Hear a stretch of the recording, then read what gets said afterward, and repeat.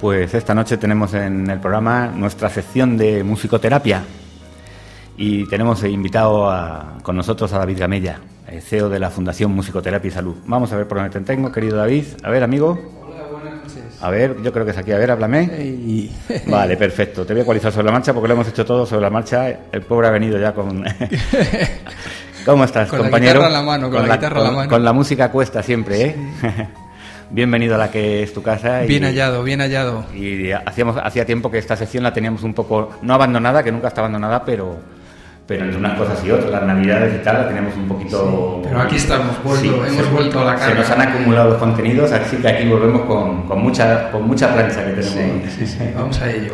Bueno, lo primero es darte la bienvenida y, bueno, cuéntanos un poco. La Fundación Musicoterapia eh, empezó, nació en Bilbao. Vamos a hacer un poquito de histórico rápido, aunque ya nuestros oyentes se lo conocen de muchas veces que has estado.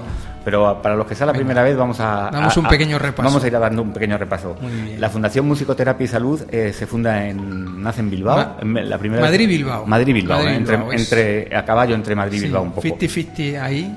y... y... últimamente se ha expandido a Zaragoza también. Sí, los últimos proyectos están creciendo por Zaragoza y entonces, pues esto después ya de arrancamos en el año 2011, entonces ya casi casi que somos una, ya no somos tan jovencitos, eh, vamos adquiriendo edad y experiencia y la verdad es que se nota cada vez mm, los voluntarios trabajan con más con más fuerza podemos expandirnos a más unidades a más lugares a, podemos abrir más proyectos y qué duda cabe que esto al final contribuye en que a más gente le llegan los beneficios de la música, que es de lo que se trata.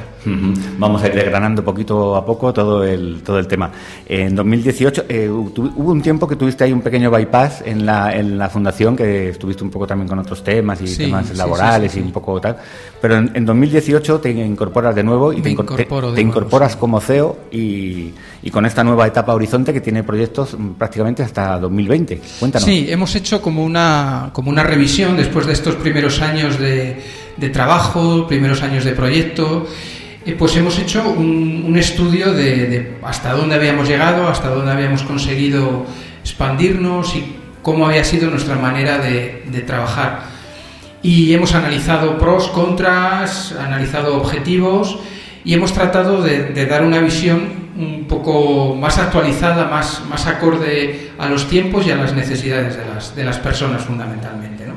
Y bueno, eh, estamos ahora trabajando desde marzo del 2018, como bien decías, eh, en esta nueva etapa, diseñando pues una manera mm, más global o más holística en los proyectos y tratando de que nuestra acción sea mucho más transversal en las instituciones en las que estamos haciendo un plan de, difusión más, más eficaz porque parece, parece que nuestra labor tiene que estar solamente ahí en, a pie de cama, a pie de proyecto, pero es muy importante también divulgar como en este caso estamos haciendo, ¿no? contar mm. la, las bondades de la, de la musicoterapia a la gente.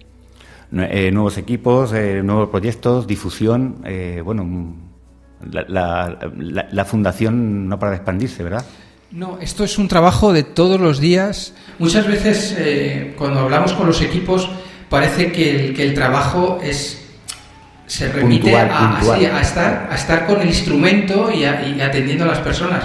Pero es que para que eso sea posible, por detrás hay un trabajo de un equipazo inmenso que, que está constantemente todos los días dedicándose a, afinar las, las situaciones, a hacer que, que cuando los los voluntarios van a un hospital, por ejemplo, pues que es todo, todo esté ok, que los permisos estén chequeados.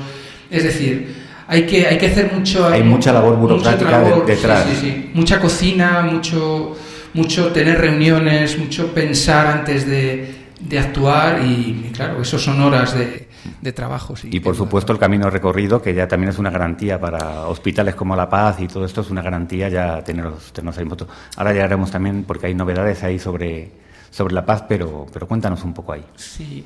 Eh, eh, ¿Cómo, se prepara un poco el proyecto? Quiero decir, antes de, antes de ese previo, de estar el músico a pie de, a pie de cama, pues, eh, ¿cómo se elabora todo ese proyecto, permisos y tal? Cuéntanos un poco. Sin, sin, sin, redundar en la burocracia, sino lo que es un poco el, proceso. lo, que es, nuestra parte terapéutica. uno de nuestros trabajos fundamentales como, como como fundaciones fomentar la formación en musicoterapia.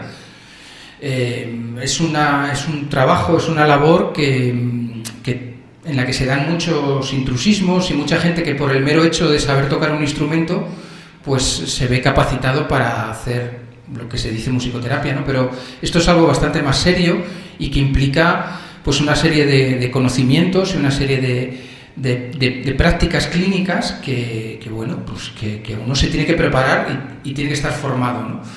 A nivel psicológico, a nivel musical y, a nivel terapéutico, Entonces, en, estas labores que, con, las que, con las que se centra la, fundación, una de ellas es, como decía, el tema de la, de la formación. Estamos muy vinculados al máster de, de la Universidad Autónoma de Madrid, en la Facultad de, Medicina, y prácticamente es como, como nuestra cantera más, más fundamental. ¿no? Ahí cada X tiempo, cada X meses, además hacéis unos cursillos y tal especiales, ¿no? Sí, además cursos pues como de reciclaje para, para, para, personas que ya, son, que ya son terapeutas y que necesitan pues supervisión de los trabajos que están haciendo y reciclar algunas técnicas, etcétera, etcétera. ¿no?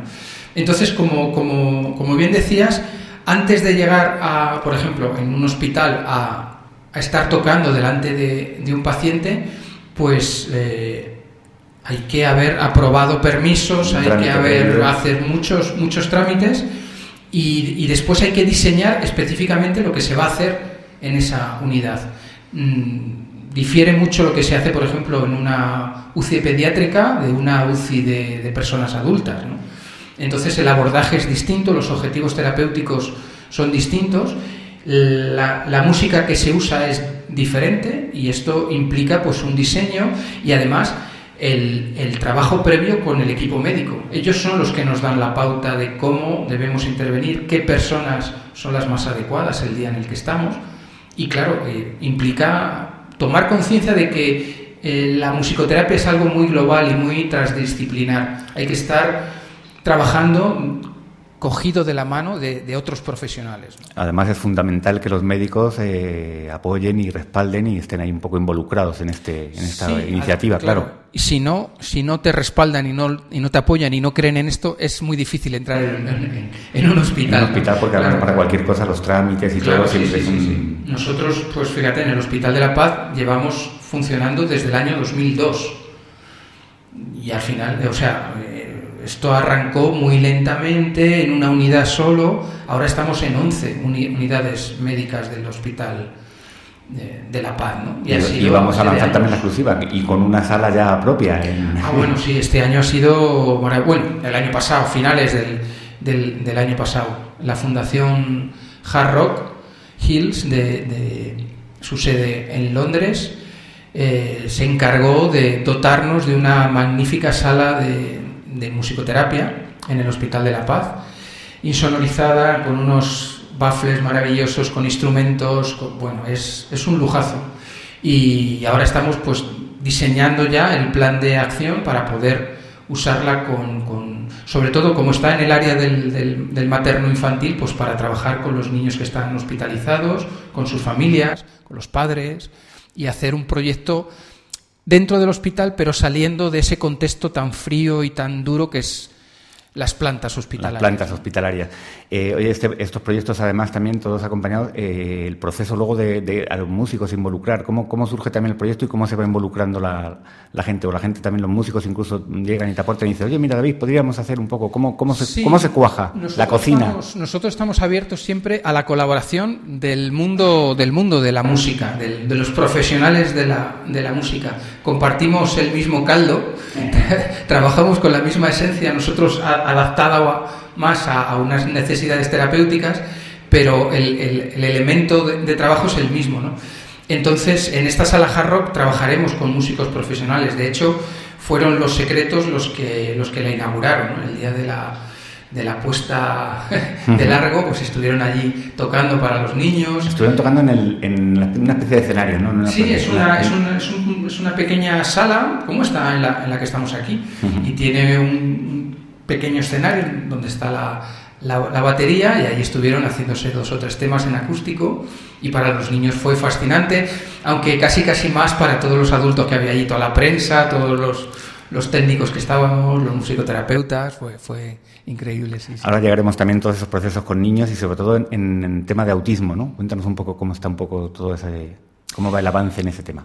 Pues eh, la, la, fundación mm, hace proyectos de, de, musicoterapia en distintos ámbitos, no solamente en el ámbito hospitalario, que es así, además es el, pues el que más el que más difusión alcanza. ¿no? Ahora, esta semana, hemos, hemos podido contar con la colaboración de la Sexta Noticias, que nos ha hecho un, pequeño reportaje. Una piecita, sí, eso lo en, la, en la UCI de, de, de, adultos en el proyecto Take Music.